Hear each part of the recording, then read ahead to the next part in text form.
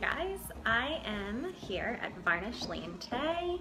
This pretty boutique here up in North Georgetown. I just treated myself to a little manicure, a little self-care today. Um, and today is Thursday, so I wanted to do a little tip on Thursday. I'm gonna take a little seat in a chair here. Um, so for today's tip on Thursday, I wanted to talk about when you should hire a wedding planner. Um, look, got a little hair going on. Uh, so some people, when they start to think about when they should hire a wedding planner, they think, um, I just got engaged. I don't really know. Um, sorry, I'll get it right. Uh, I don't really know what I'm doing, so I don't think I'm ready to hire a wedding planner. Uh, and I would argue that that's the perfect time to give me a call. So uh, what I do is I'll sit down with someone for a consultation and in that first meeting, we'll talk about just the couple's relationship and what they might want to do for their wedding. So does this look like a destination event?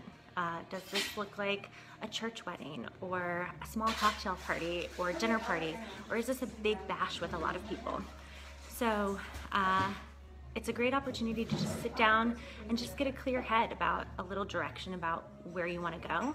Um, and yeah, so that first time when you first get engaged is a great time to sit down with a wedding planner and get an idea of, of where you're gonna go. Um, and then after that, it's a conversation about how how do you need somebody to be involved? Is this going to be somebody who's just there the day of the event because you need help with all those day of details that you don't want mom or aunt or cousin to take care of? Or is this somebody who's going to help design your event, who's going to go to your vendor meetings with you, who's going to curate that process? Um, and I do all of that. So uh, as we're here this holiday season and people are getting engaged and you're considering uh, getting engaged yourself, or maybe you're already partway through your process and you're getting married in the spring and you realize that you need a little help, um, reach out. Let's have a consultation, let's talk about it, and see how we might be able to work together. Uh, and if it's not me, I hope uh, that you'll consider somebody else because everybody deserves a little help on their wedding day.